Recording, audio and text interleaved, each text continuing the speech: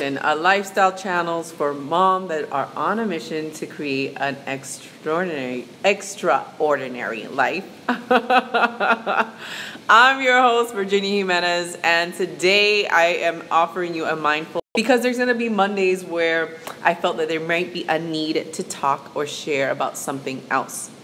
And so while I do encourage you to take a breather, to take a body's constantly communicating things to you, um, if you need some of that, you can look back at some of the past Mindful Monday Moment videos. But this particular video is going to be a short, inspiring talk about financial house. I'm, um, aside from being a coach, I'm pretty much a wellness entrepreneur. So I also provide products that help us have more cognitive functioning um, abilities to think clearly um, situations. And it's all products from the Amazon from Peru. It's with FuXion, the company FuXion. So if you're interested in checking that out, you can check out the site I, I am Fusion with an X instead of an S dot net slash the importance of investing the money that we make.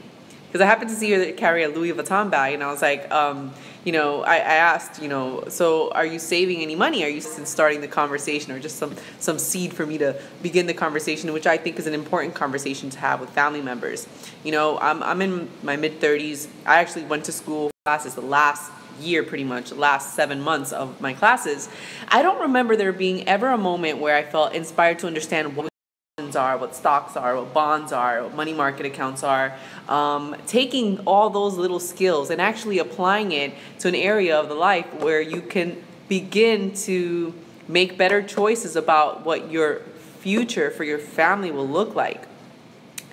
I think that that was because my mindset was in a place of thinking I work for somebody else, so I don't need my my money doesn't ne- doesn't necessarily come from these small these investments that I make and really how much money. But later on, in retrospect, I think that was a mindset of having a, a corporate mindset. You know, always thinking that money's going to come through these other means. That that's not the the main mean to to receive money, and and just putting all my eggs in one basket essentially. And I think that it's a mistake. Go work for somebody and then we only ha- collect money from that particular institution.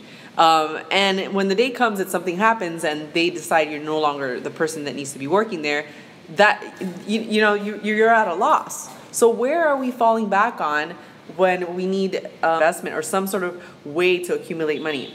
And usually in corporations, they offer 401k plans, so you can go ahead and invest, especially if they're matching plans. It's a great opportunity to do so.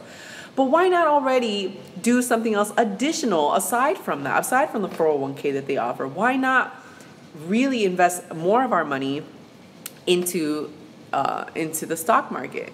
Now, when I asked that question, I think, well, one of the things that came up for me is that when I really want about the stock market and other aspects of, of investing, I would go on there and they would, I think they had a, an account you could play with. And I just didn't commit the time to actually going in and playing with the stock market. And all of it is, is just this sense of, I don't know what that field is like. I don't know what that playing field is like. So why get into it? So we don't.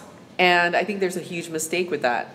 And others um, provide life coaching, love coaching, business coaching. And um, I started to be more cognizant of how I use my money and where my money's come from. And not only that, but how many streams I could create, uh, how many possibilities I could create to, to make sure I have the funds needed to take care of my family.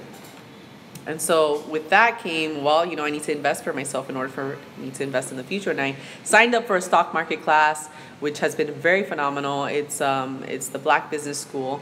I'll put a link. To, uh, I should I should be more specific. It's inspiring Black people, uh, minorities, non-whites to um, to really go out there and and be more cognizant of how they use their money. Um, and the reason I'm sharing that is because I think it is important. I think that sometimes, you know, depending on where you come from, if your parents don't know much about it, it's very hard for you to see that that's a possibility for you to do because it's again an unknown playing field. So I want to just kind of share with that that with you guys. If if if if anything, be sure to, to do more with your money than just go out there and buy Fendi and Prada stuff and um, save up money for that Mustang that you want at the end of the year or that show car that you're building for if you're a guy or well you might be a girl doing that too. Um, you know what? Money, your investment into several different companies where you can, you know, where you can grow your money. And I'm talking about it in a sense of like doing it for the long term um, kind of like your 401k. And I'll put the link below for one um, that I use. Actually, it's called Stash. Stash is S T A S H. And it's a website, it's an app actually on my phone where I can go ahead and invest money into the stock market. They have already set up portfolios. You can review it on your own. You can see if there's something that's interesting to you, what's going on in the industry. Um, and uh, it sends you, it, it provides you with estimates of if you start investing this amount per month, this is what it potentially looks like based on this income, I'm sorry, this interest rate. So I'll put that below, but I, I you know, I just wanted to come on and, and just kind of plant that seed like, what are we doing with our money? Where are we putting our money? Are we growing our money? Or are we just going out there doing, doing, doing and not planting any seeds? This is this is important, especially if you're a mom, because don't hold on to that excuse of, well, I'm a single mom, well, I don't know better. This is an opportunity right now to start learning more. We need to be educated. We need to sorry, I, am going to re- rephrase that. We are educated individuals. It's not to say that we don't know, but we don't know everything. And sometimes we need a, a little, you know, a little seed planted, like a seed was planted in me, and I'm sure with many of you have learned even other things that could, you could definitely share about finance. And if you want, go ahead and leave a comment below. If you have to build that financial legacy, so that we leave a legacy for our children, so that we teach them, uh, teach our children how to use their money.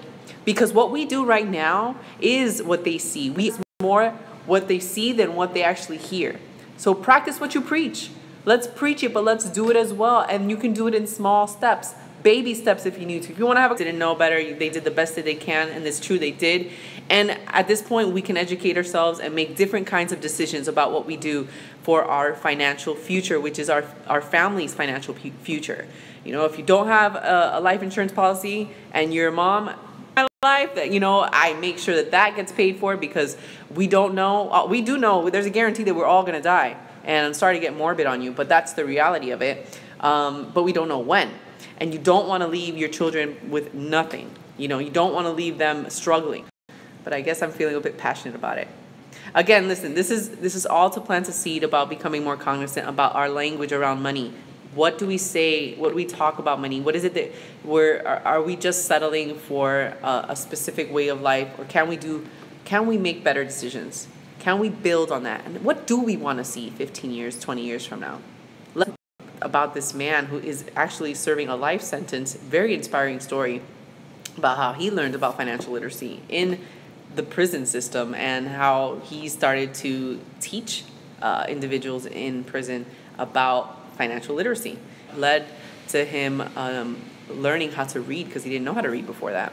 So not only was he became, did he become financially literate, but he became um, he just became uh, literate as in as what you know reading, reading and writing.